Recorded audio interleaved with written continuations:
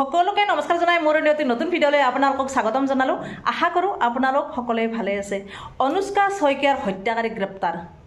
অনুষ্কা শইকীয়াৰ খবৰটো আপোনালোকে সকলোৱে জানে নিউজত খুব বাজি আছে। দুই তিনিদিন ধৰি খুবেই বাজি আছে খুবেই প্ৰচাৰ হৈছে। অনুষ্কা শইকীয়া কোন? অনুষ্কা শইকীয়া হ'ল ধেমাজিৰ এগৰাকী মা মেধাৱী ছাত্ৰী। গুৱাহাটীত পঢ়ি আছে প্লাছ জব কৰি আছে। সৌ সিদিনাখন গুৱাহাটীত তাই ভাড়া ঘৰত আত্মহত্যা কৰিলে।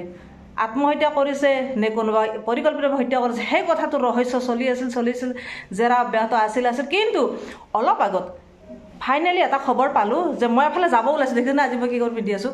এফালে যাব ওলাইছোঁ যাব ওলাই পিনে মোবাইলটো অন কৰি পিনে এটা নিউজ চালোঁ। নিউজটো চাই গম পালোঁ যে অনুষ্কা শইকীয়া নিউজটো খুবেই বাজি আছে যে হত্যাকাৰী গ্ৰেপ্তাৰ। মানে গ্ৰেপ্তাৰ অতি সোনকালে হ'ব যেন পাইছোঁ। গ্ৰেপ্তাৰ হ'ব আৰু গ্ৰেপ্তাৰ কৰিব জানে নাই?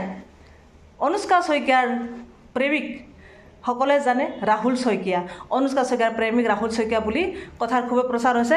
আৰু ভাড়া ঘৰৰ মালিকে কৈ আছিল যে ৰাহুল শইকীয়া সেইদিনাখন আহিছিল। হয়তো ৰাহিল ৰাহুল শইকীয়াৰ লগত দৌৰে। কাজিয়াৰ সূত্ৰপাত আছিল আৰু সেই কাজিয়াটো চাগে অনুষ্কা শইকীয়াই চিপ ল'লে।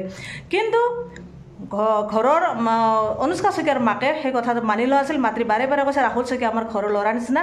দুয়োৰে বিয়া ঠিক হৈছে আৰু দুয়োকে বিয়া দিম। অলপ দিন আমি ৰ'ব দিছোঁ। আৰু দুয়োৰে বিয়াৰ কাৰণে হয়তো ৰাহুল শইকীয়া তাইক হত্যা নকৰে মোৰ বিশ্বাস। কিন্তু ভাড়াঘৰৰ মালিকে মাজে মাজে দৰ্জাত টুকুৰি আছিল। সেই কথাটো আমি জানো। অনুষ্কাই মোক নিজে ফোন কৰি কৈছিলে।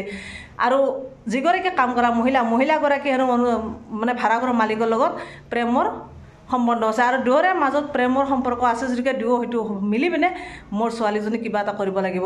এনেকুৱা মানে বিভিন্ন কথা আহি পৰিছে।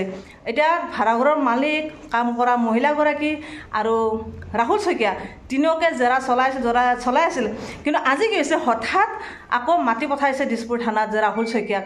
মাতি কিয় পঠাইছে? এতিয়া কথাটো ওলাইছে যে অনুষ্কা শইকীয়াৰ মৃত্যুৰ আগমুহূৰ্তত এটা ৰাহুল শইকীয়ালৈ মেছেজ পঠাইছিল। আৰু মেছেজত এনেকৈ পঠাইছিল যে ৰাহুল শইকীয়াক কৈছিল যে মই আত্মহত্যা কৰিম। কিন্তু এই কথাষাৰ ৰাহুল শইকীয়াই জানিও শুনিও কিয় একো উত্তৰ নিদিলে বা ৰাহুল শইকীয়াই কিয় তাইৰ ওচৰলৈ নাহিল? এনেকুৱা লাগানে ৰাহুল শইকীয়াৰ লগত দুয়োৰে কাজিয়াৰ সূত্ৰপাত হৈছিল। আৰু সেই ৰাহুল শইকীয়া হয়তো জানে কি কাজিয়া কি কথা হৈছিল কিজানি ৰাহুল শইকীয়া ৰাহুল শইকীয়াক সেই মেছেজটো লৈ ৰাহুল শইকীয়া আহিব পাৰে।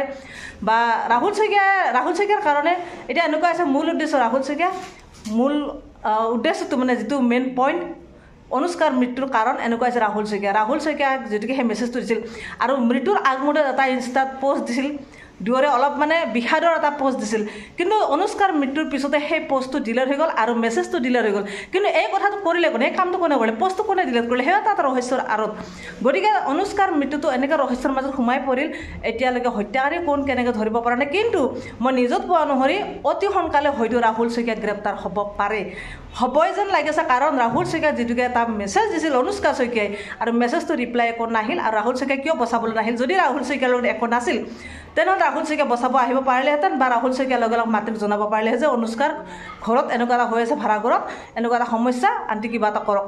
আণ্টিৰ লগত যদি ইমানে ভাল সম্পৰ্ক আছিল বা ৰাহুল শইকীয়া ইমানে আণ্টি আচলতে চাওক অনুষ্কা শইকীয়াৰ মাতৃ ইমান বিশ্বাস কৰে ৰাহুল শইকীয়াক ৰাহুল শইকীয়াৰ লগত ছোৱালীজনীক উঠাই দিয়াৰ ভাৱ এটা আছিল যে ৰাহুল শইকীয়াৰ হাততে গোটেই জীৱন তাইক উঠাই দিম।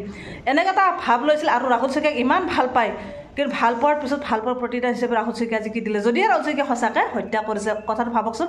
ৰাহুল শইকীয়া সম্পূৰ্ণ জানে যে সিদিনাখন অনুষ্কাই হত্যা কৰিব আত্মহত্যা কৰিব। যদিকে অনুষ্কাই এটা মেছেজ দিছে। কিন্তু কাৰণটো ৰাহুল শইকীয়া নহয়নে? যদি ৰাহুল শইকীয়াৰ কাৰণে আত্মহত্যা কৰিছে গতিকে চাওক মানুহ বিশ্বাসঘাতক কৰে নেকি? বিশ্বাসত লৈছিল অনুষ্কাৰ ঘৰখৰে ৰাহুল শইকীয়াক। কিন্তু ৰাহুল শইকীয়াই সেই বিশ্বাসটো ৰাখিলেনে আজি অনুষ্কাৰ মৃত্যু হ'ল। কাৰ কাৰণে হ'বলৈ পালে? কিয় হ'ল? গতিকে গোটেই কথাটো এতিয়াও ৰহস্যৰ আঁৰত আছে এতিয়াও সম্পূৰ্ণকৈ ওলোৱা নাই। কিন্তু এটা কথা মই পোৱা মতে অতি সোনকালে বা হঠাৎ গ্ৰেপ্তাৰ হ'ব পাৰে ৰাহুল শইকীয়া। যে অনুষ্কা শইকীয়াৰ মৃত্যুৰ কাৰণ ৰাহুল শইকীয়া হ'ব পাৰে। এইখিনি কথা কৈ আজি মই মোৰ ভিডিঅ'টো সামৰিছোঁ। আজিলৈ বাই বাই